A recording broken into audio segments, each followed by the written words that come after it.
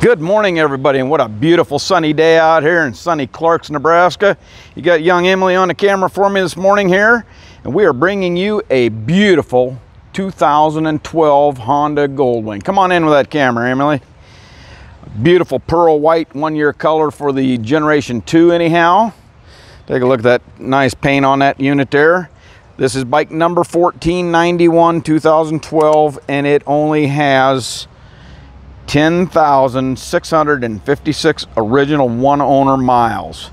Bought this from a gentleman down in Missouri that uh, just didn't didn't ride anymore. Uh, all his buddies just uh, getting the age where he, he decided he was going to get out of it. So used very, very little, super nice shape. Of course, Gen 2 uh, level 1 does have your heated seats and your heated grip, the comfort package, and of course the better audio system.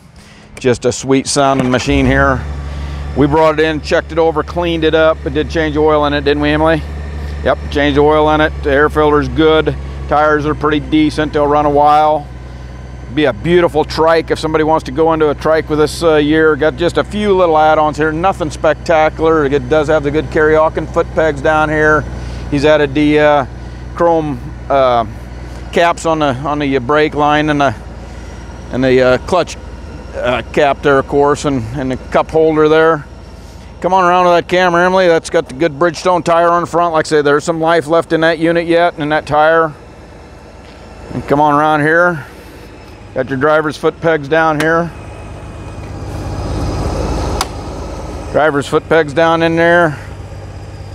Super nice machine. Does have both keys. I guess we, we should have touched on that. Got both keys, the fob, everything works as it should. Tire pressure monitoring uh, shows it's working. Does come with the book back here, the manual back here. It's got a half cover and it got the, the uh, mat down in there. There is a couple little bitty decent tire on the back there, run for a little while.